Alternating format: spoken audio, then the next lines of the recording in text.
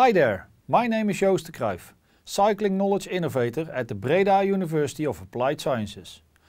Also on behalf of Dirk Boesje, I welcome you to this knowledge clip about data-driven cycle policy enhancement and particularly the added value of GPS data. We start this knowledge clip with the amazing image of the cycling behavior in the city of Hamburg based on GPS tracks. During this presentation you will learn more about the great potential GPS data adds to the data-driven cycle policy enhancement. At first we start off with the picture of our Dutch king cycling the most well-known cycle highway in the Netherlands.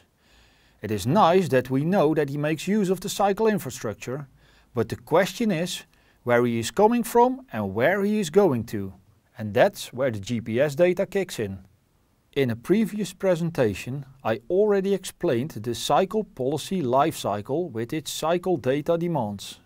In the planning as well as the evaluation phase, GPS data is of added value in evaluation the cycle network performance and future potential. I can't say this enough, but the real value is not so much in the data itself, but the information you get out of the data and the insights you want to obtain. If we look at the GPS data, there are several types of information which can be extracted from the data, like the origin and destination relations, route choice and cycling accessibility. The reason the GPS data is becoming more popular to use is the increase of data availability, where modern smartphones have an embedded GPS sensor. Over the last couple of years, more and more cycling incentive programs make use of the smartphone for monetary and social incentives, generating high volumes of valuable data. Just in short how it works. The GPS sensor in the smartphone generates on an interval basis locations while cycling. Dependent on the settings the interval of locations vary, where the rule is the more locations the more valuable the information. Because the GPS sensor does not make a distinction in mode of transport while being on the move, extra handling has to be performed to clean and anonymize the data before visualization and analysis. Before engaging the policymakers and other stakeholders in the data-driven process of cycle policy enhancement, raw data must be generated, stored, cleaned, enriched and visualized. Although there is much to say about this process, we now focus on getting the data into practice. As all locations, with their own longitude and latitude are stored, they must be translated into trips. If we connect all locations, the trips that are being generated are not directly usable. To gain insights in the cycle network performance, the GPS points have to be connected to a digital network in a process called map matching. Although the digital networks like OpenStreetMaps become more detailed, we often encounter imperfections. Where sometimes the digital network is not complete, most cases are that cyclists do not use the cycling infrastructure but use sidewalks, lawns and other shortcuts, creating the so-called urban goat paths. Another point of attention is privacy. Raw GPS data can tell us exactly where cyclists come from and go to. Therefore, to guarantee the privacy of cyclists, the beginning and end parts of the trips are cut off randomly. To translate GPS data into information, we have to distinguish different modes out of raw GPS tracks, clean the data, anonymize the raw data, map match the data for cycling routes. If we then focus on the process of translating information into valuable insights, we start off with the heat map. Just a bit different than the image shown in the beginning of the presentation, the heat map indicates where most people cycle on the network. Because we know the timestamps of all GPS points, we can calculate the cycling speed and the delays.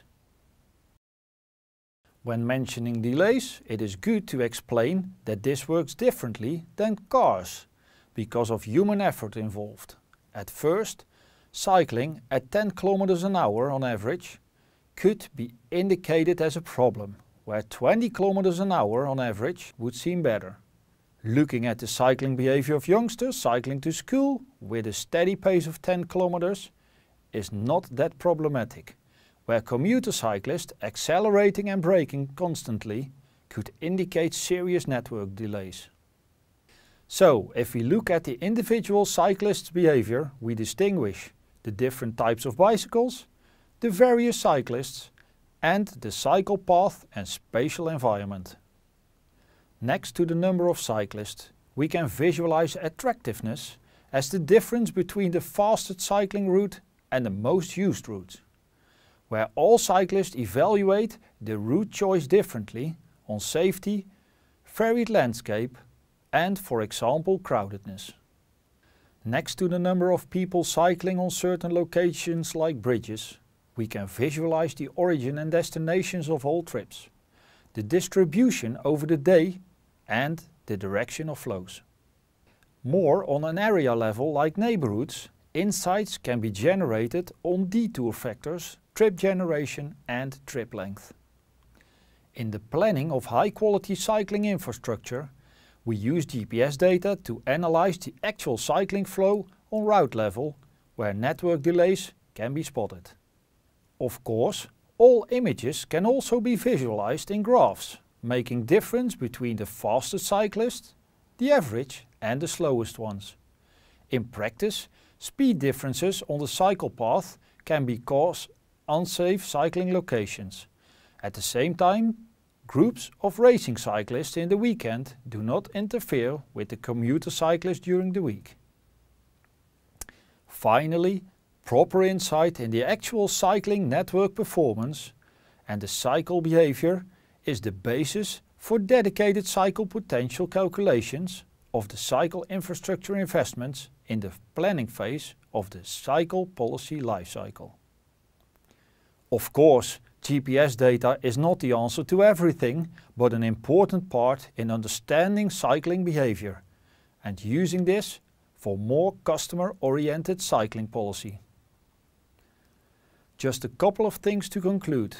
Cycle count data remains extremely relevant. GPS data adds insights in route choice and speeds. Data collection is not an objective itself, Next to all shown insights, there is still a world to discover.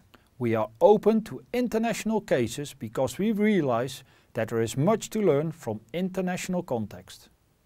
I hope you enjoyed the presentation. Do not forget to push the like button below and to subscribe. Thank you for watching, stay safe and enjoy your rides.